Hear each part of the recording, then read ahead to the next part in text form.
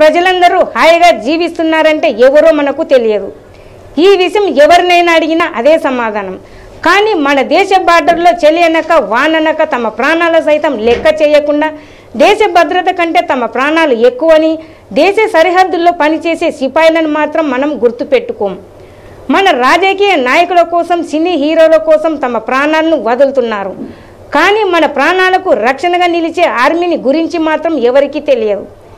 కర్నూలు జిల్లా పత్తికొండ నియోజకవర్గం మారెళ్ళ గ్రామాల్లో కార్గిల్ యుద్ధంలో వీరమరణం పొందిన వేపదిన్నె ధనుంజయుడి వర్ధంతి సందర్భంగా ఘన నివాళి అర్పిస్తూ R three sixty news channel ప్రత్యేక కథనం.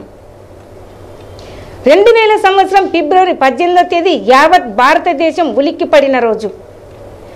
జమ్మూ కాశ్మీర్ రాష్ట్రంలో పుల్వామా దగ్గర ఉన్న ట్రాల్ గ్రామం వద్ద భారత సైనిక వాహనంపై ఉగ్రవాదులు బాంబులు పేల్చినారు. దేశ రక్షణ కోసం భారత జవాన్లు విధులు నిర్వహిస్తుండగా ఉగ్రవాదులు జరిపిన బాంబు పేలుల్లో పద్దెనిమిది మంది భారత జవాన్లు అమరులయ్యారు. దేశ రక్షణలో ఉన్న సిఆర్పిఎఫ్ జవాన్లపైన ఉగ్రవాదులు బాంబు పేలుల్లో వీరమరణం పొందిన వారిలో కర్నూలు జిల్లా వాసి ఒకరున్నారు.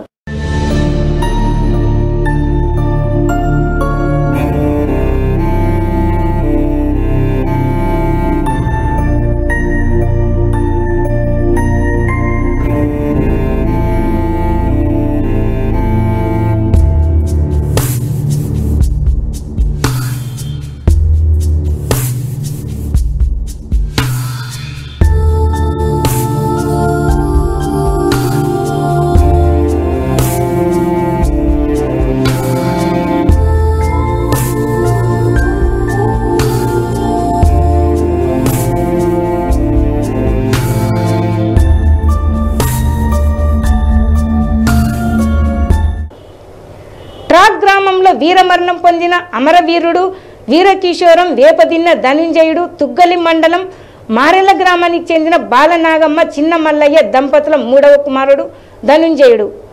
వీరిది వ్యవసాయ కుటుంబం. ధనుంజయ పదవ తరగతి వరకు చదువుకున్నాడు. దేశ రక్షణని లక్ష్యంగా పంతొమ్మిది వందల తొంభై మూడో సంవత్సరంలో సిఆర్పిఎఫ్ రిక్రూట్మెంట్కి ఎంపికయ్యాడు. అరవై తొమ్మిదవ బెటాలియన్లో సిఆర్పిఎఫ్ జవానుగా విధులు నిర్వహిస్తూ రెండు వేల సంవత్సరం ఫిబ్రవరి పద్దెనిమిదిన ఉగ్రదాడిలో అమరుడయ్యాడు. ఈ విషయం తెలిసిన మారెళ్ళ గ్రామ ప్రజలు శోక సముద్రంలో మునిగిపోయారు. గ్రామంలోని మూడు కూడలి వద్ద సైనిక వందనాలతో ధనుంజయ పార్థిక దేహాన్ని సమాధి చేశారు. కుటుంబ సభ్యులు వీరమరణం పొందిన ధనుంజయ సమాధిపై గుర్తుగా విగ్రహాన్ని ఏర్పాటు చేయడం జరిగింది. ప్రతి సంవత్సరం పోలీసులు అమరవీరుల వారోత్సవాల సందర్భంగానూ ఫిబ్రవరి పద్దెనిమిదవ తేదీన అమరవీరుడు ధనుంజయునికి జిల్లా పోలీసులు వందనాలు అర్పించడం జరుగుతుంది.